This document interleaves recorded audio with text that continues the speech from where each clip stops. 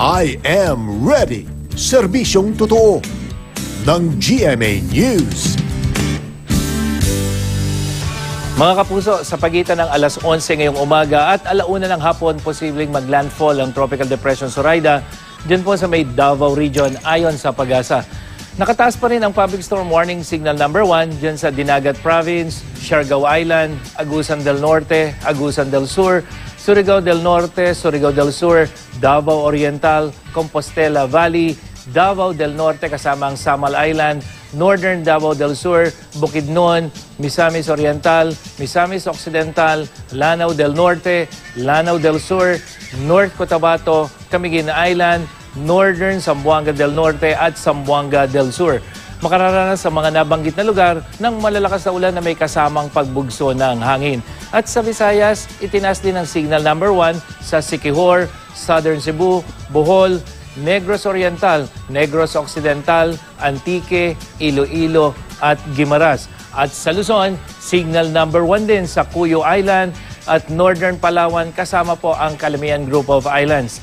At sa mga kapusong naninirahan sa mabababang lugar at paanan ng bundok, maging alerto sa banta ng baha at landslides.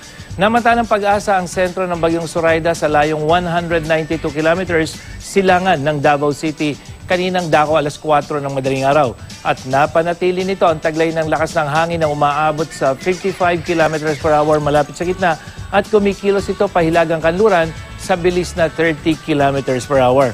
At base sa storm track ng ehensya, maaaring tumama ang sentro ng bagyo dito sa Davao Oriental, tatawirin ang Davao del Norte, Bukidnon at Misamis Oriental.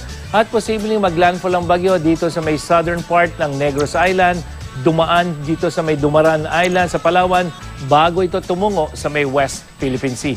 At dahil malayo sa Bagyong Suraida o ang Bagyong Suraida, malaking bahagi ng Luzon ang makakaasa sa bahagi hanggang sa madalas na pag-uulap ng papawirin na sasamahan naman ng pulo-pulong ulan. Mas uulanin po ang Bicol Region at ang Mimaropa. Muling nakataas ang gale warning sa mga karagatang sakop ng northern and eastern seaboards of Luzon dahil sa malakas na hanging amihan. Kaya pinapayuhan ng pag-asa ang mga mangingisda at may maliliit na sakyang pandagat na iwasan muna ang pumalaot o maglayag dahil sa posibleng matataas na alon. At yan ang latest mula sa GMA Weather. Ako po si Nathaniel Cruz para sa I Am Ready, serbisyong totoo ng GMA News.